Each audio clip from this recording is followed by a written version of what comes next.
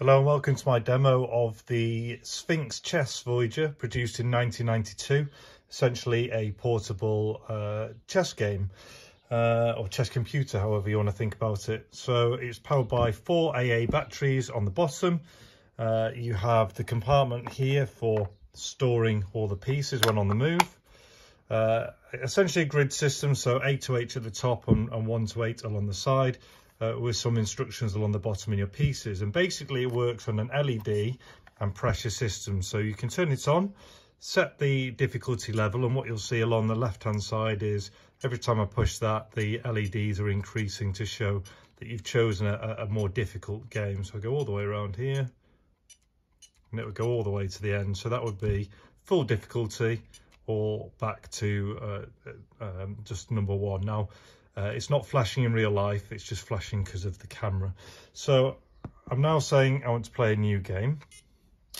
It tells me it's my move and essentially you pick your piece. So if I wanted to move this pawn here, I push down onto the pressure sensor and then move the piece. So you can see right now it, it knows because it's illuminated the pieces.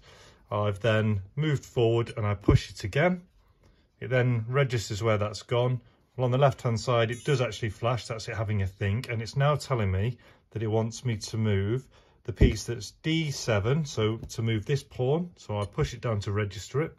And it tells me that it wants me to move it to D5. So I'll put that in D5.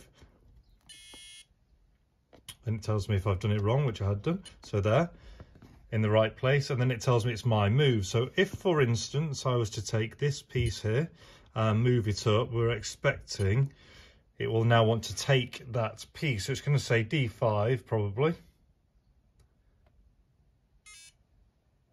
which it has done, D5.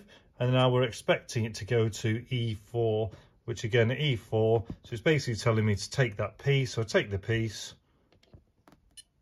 open the side part, pop my pawn in there.